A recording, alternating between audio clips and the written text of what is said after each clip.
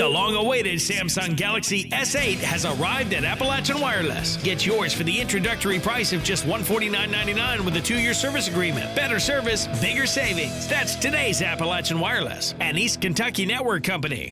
Get to Know is brought to you by Dr. Tiffany Todd Duncan, DMD, located on Mall Road in South Williamson. 86 year old Faye Cline has faced many obstacles in her life. In 1992, she had breast cancer. Just last year, she had ovarian cancer, and now lung cancer. Cancer runs in our family. Faye says when she found out about the ovarian cancer, it was a huge shock.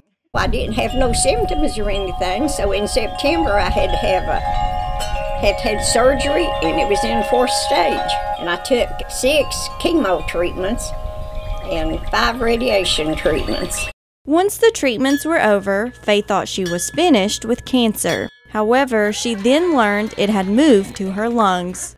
I don't know how much longer. They want me to take some more chemo, but I don't think I'm going to take any more. I said, time you hit 86, everything started happening to me. but, you know, I've not give up yet. Until the good Lord says it's time, then I'll go. As Faye continues her fight against cancer, the community and even some strangers have rallied around her to show her support and love. I guess I've got about 50 cards in all.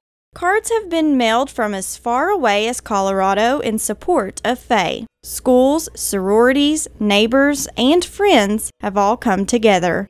I appreciate, you know, every one of them. So, and the thoughtfulness, you know, of the people, you know, that's around. If you would like to send Faye a card for support, you can do so by using the address listed on your screen. Reporting in Turkey Creek, I'm Shelby Still for EKB News.